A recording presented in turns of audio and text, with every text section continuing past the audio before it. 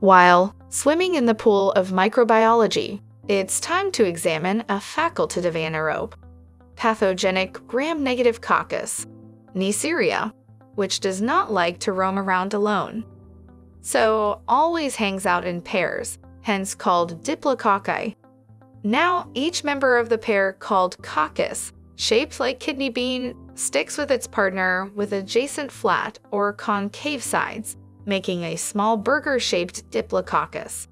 The genus Neisseria is one of the genera included in the family Neisseriaceae, while the other being Branhamella, Moraxella, and Acinetobacter. Two pathogenic species of Neisseria include Neisseria meningitidis, or meningococcus, causing meningitis, which is the inflammation of the protective membranes covering the brain and spinal cord, or life-threatening sepsis called meningococcemia, and Neisseria gonorrhoeae or gonococcus, causing a sexually transmitted disease gonorrhoeae.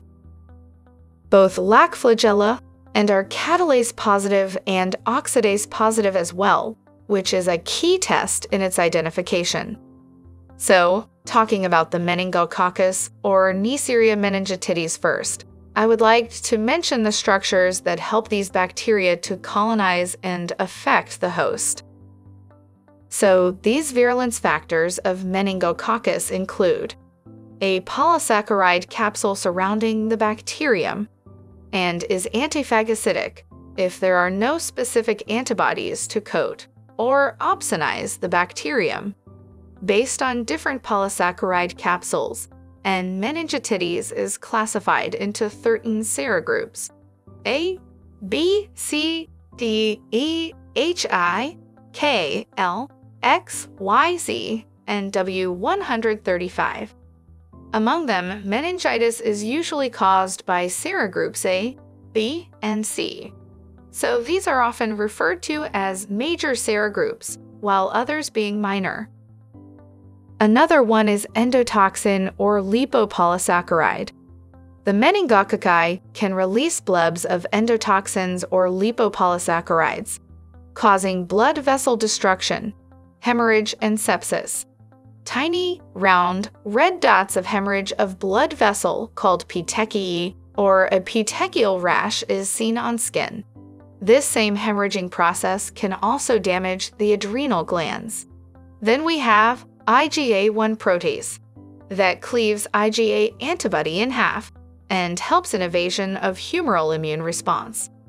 Also, Neisseria meningitidis can extract iron from human transferrin via a non-energy requiring mechanism. And pili of Neisseria meningitidis allow attachment to human nasopharyngeal cells and undergo antigenic variation to avoid attack by the immune system. Although Neisseria meningitidis has all of these virulence factors, and entering through nasopharynx, through inhalation of respiratory droplets, it attaches itself to the epithelial cells with the help of pili and constitute a part of normal flora here.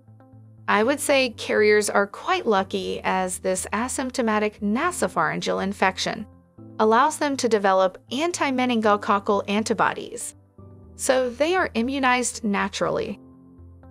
Well, rarely the bacteria will invade the bloodstream to cause meningococcal disease, resulting in meningitis or deadly sepsis called meningococcemia. Now, the fulminant meningococcemia is a severe condition with high fever, hemorrhagic rashes, and circulatory shock. The hemorrhages may take place in different parts and sites of body, including skin, causing petechiae that I mentioned before, and bilateral hemorrhage into adrenal glands, also known as Waterhouse-Friderichsen syndrome. Its frequent complication is disseminated intravascular coagulation, or DIC, which is a serious disorder in which the proteins that control blood clotting become overactive. Small blood clots develop throughout the bloodstream and block small blood vessels, while meningitis is an inflammation of the protective membranes covering the brain and spinal cord and has a sudden onset with intense headache. stiff neck, fever, vomiting, irritability, and lethargy. A bulging open anterior fontanelle may be a sign of meningitis in neonates, while older may display a stiff neck as well as positive Kernig's sign, which is when a patient lies flat and has thighs bent at the hip and the knees at 90 degrees. And when you try to straighten the knee, it elicits pain and is resisted. And Brudzinski signs, in which the patient lies flat and you lift their head off the table, and the patient lifts their legs up involuntarily. Also, septic or reactive arthritis may also develop as a result of meningitis. Well, the microbiological diagnosis involves the gram stain and culture of the meningococcus from blood, cerebrospinal fluid, petechial scrapings, or nasopharyngeal swabs.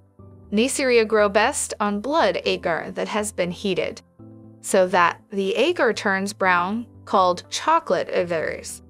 Now, this chocolate agar with antibiotics called the Thayer-Martin VCN is the classic medium for culturing Neisseria, where V stands for vancomycin, that kills gram-positive organisms.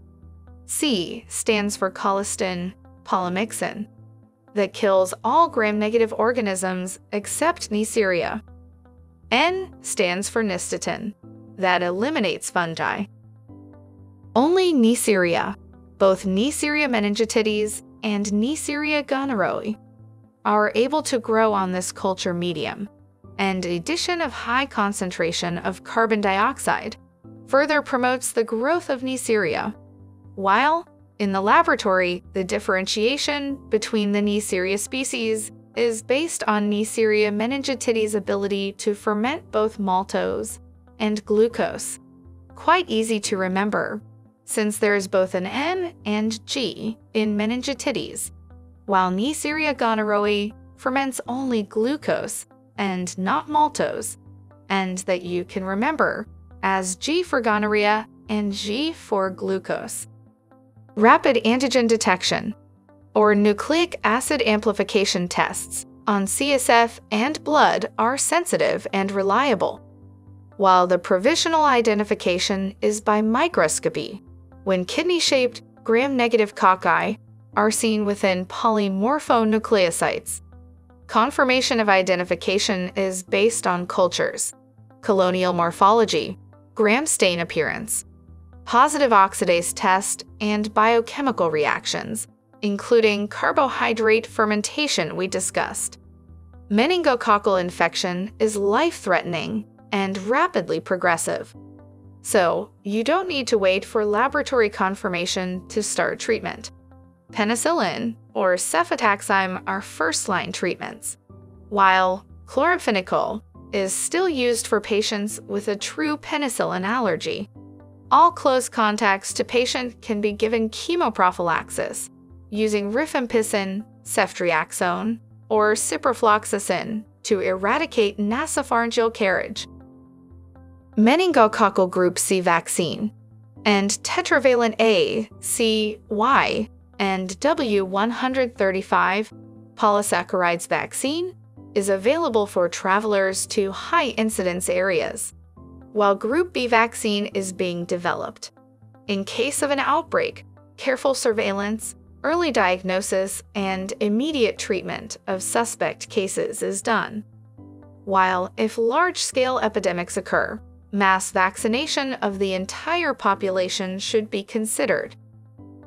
So, here we are done with the Neisseria meningitidis, but we are still left with Neisseria gonorrhea.